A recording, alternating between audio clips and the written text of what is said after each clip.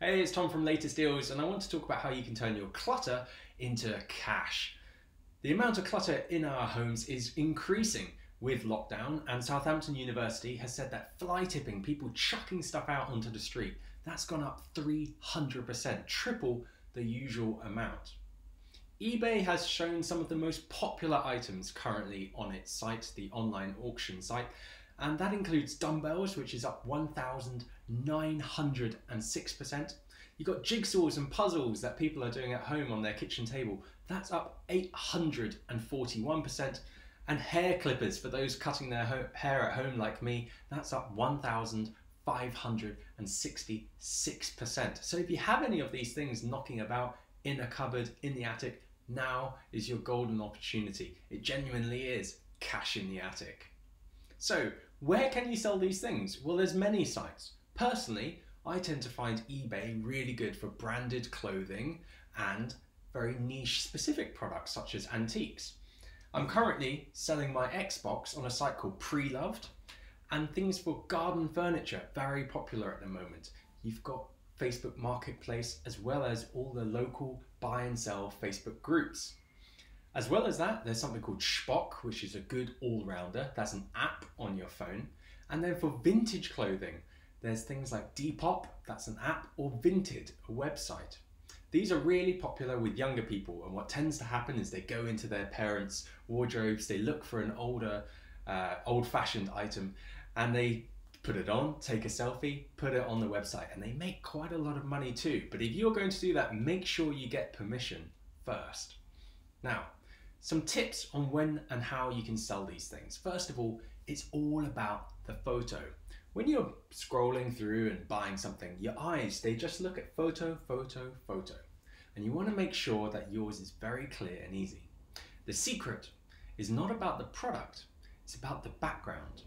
You want to make sure you don't have a cluttered, busy background with lots of stuff going on. Rather, it's got to be a nice, plain, neutral background so that your product stands out to the person when they're scrolling through. They can see it very easily. Also, you want to be honest with your photos. So for example, my Xbox, it has scratches, it is a bit damaged, but you can take a photo of that and include it in your listing to make sure the person is aware of what they're buying. The second most important thing is your description you want to make sure that you have all the necessary details and words that people may search for when they're looking to buy something. So for example, the model number, the color, the brand, the specifications, the size, and anything else you think is relevant. You want to answer, what is it? How is it? So that's the condition of the item. Is it new? Is it used? And also, I like to include why you're selling it. So I tend to write, for example, I haven't used this item in 12 months. I think someone else might enjoy it more. That's just because I'm a little bit skeptical as a buyer when I'm going through and wondering, why is this person selling this thing? Is it broken? So it's a good way just to put buyers at ease.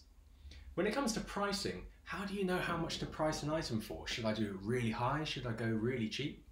The best way I found is just to go onto all the sites that I mentioned and have a look for the same item. Search for what you're selling and see what other people are selling it for or have sold it for. But remember to do some research about how much the postage and packaging costs. To do that, just go to the Royal Mail website, type in the product size and the weight, and the Royal Mail will give you an estimate that you can then include in your pricing. What you don't want to happen is to sell it for a pound and find that the postage costs 10 pounds. That would not be a very good way to start. Okay guys, I hope these tips have helped you. Just one last really important final point, and that is if you are doing collection of an item, someone's coming to your house to pick it up, make sure you maintain your social distance. You put the product on the ground, they pick it up from you. You maintain that social distance, and if you are buying an item, do clean it and just leave it for 72 hours to quarantine the product uh, before you start using it.